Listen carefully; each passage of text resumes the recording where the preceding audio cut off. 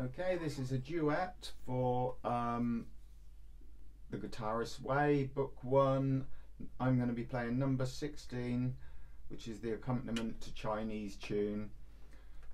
So I'll count one, two, three, four, and then I'll start. So one, two, three.